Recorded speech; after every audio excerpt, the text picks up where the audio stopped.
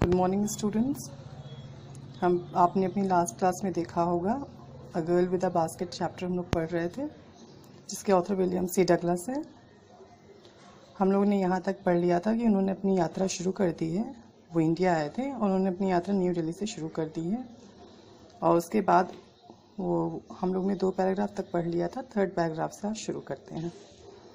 The route lay through one of the richest of India's agricultural areas. This was the plain of the upper Ganga river, a thousand feet above sea level but tropical.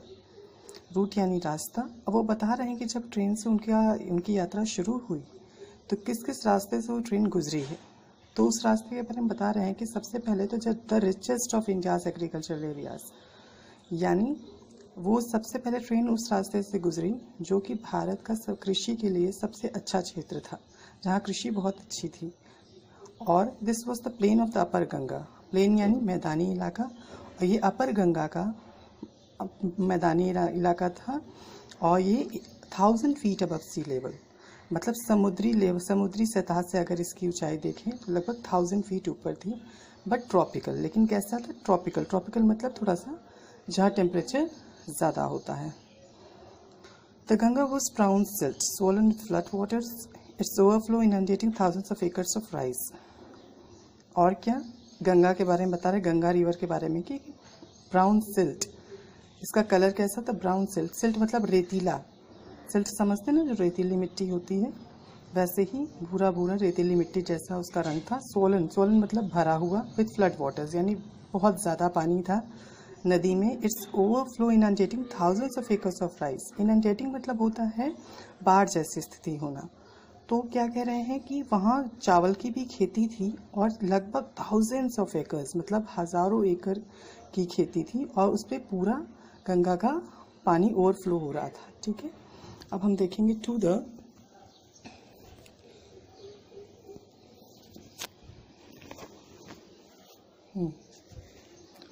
To the north were jungles, great expanses of grass higher than a man's head, and un- unbroken except for an occasional clump of trees, the home of tigers, elephants, pythons, and cobras.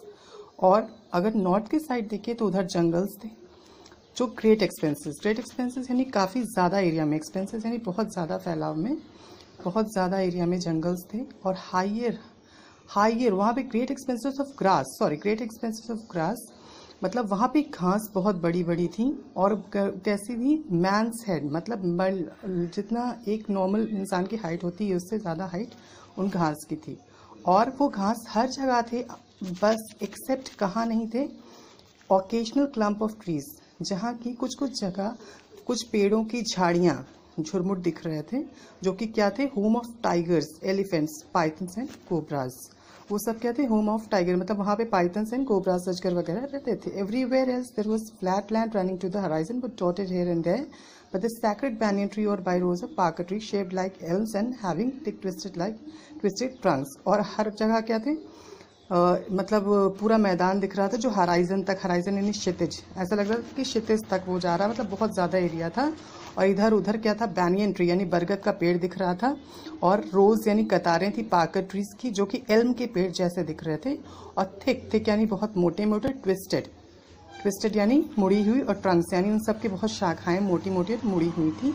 Hot humid air was moving from the south west और गरम गरम हवाएँ south west की तरफ़ से आ रही थी। Monkeys some of them mothers with babies clinging to them and riding underneath swung of trees at the station looking for food उसके अलावा क्या था कि यहाँ बंदर भी थे बहुत सारे मतलब मदर बेबी मदर्स भी थी मतलब उसमें जो मंकी में उनके बच्चे भी थे, जो क्लिंगिंग थे क्लिंग यानी चिपके, जो अपनी माँ से चिपके हुए थे और इधर उधर दौड़ स्वंग ऑफ़ ट्रीज यानी पेड़ों से उछल कूद कर रहे थे स्टेशन पे भी जा रहे थे, खाना खाने के खाने की तलाश में। The villages we passed had walls made of mud mix with water and cow dung और जिस गाँव से हम लोग, जिन गाँवों से हम लोग गुजरे, वहाँ पे कैसे मड की मिट्टी के ज़मीन बन, मिट्टी के घर बने हुए थे और वो सब जो है काउ डंग काउ डंग आप समझते हो, गोबर।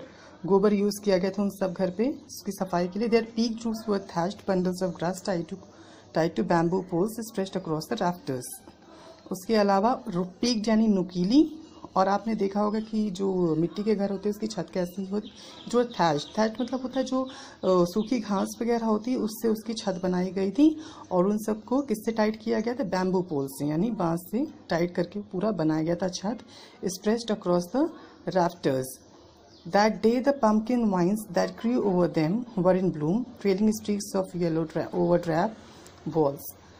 अब उसके अलावा क्या बता रहे पम्पकिन पम्पकिन हूँ यानी कद्दू कि कद्दू का जो उस समय कद्दू का मौसम था वर इन ब्लूम यानी बहुत ज़्यादा ये फल फूल रहे थे ये कद्दू कद्दू जो सब्ज़ी होती है, और इसी वाइन्स इसकी लताएँ, उस पूरे वहाँ पे, उन झोपड़ियों पे दिख रही थी। और ऐसा लग रहा था जैसे वो ड्रैप ड्रैप मतलब जो बिल्कुल नीरस सी स्ट्रिक्स यानी धरारे या धार धारियाँ जो बन जाती हैं। उन पूरे, उन झोपड़ियों पे धारियाँ बनी थी किसकी? इसी की लताओं की। किसकी लताओं की? यही कद्दू की लताओं की। आज हम लोग अपनी क्लास में इतना ही पढ़ते हैं। नेक्स्ट क्लास में लोग आगे बढ़ेंगे।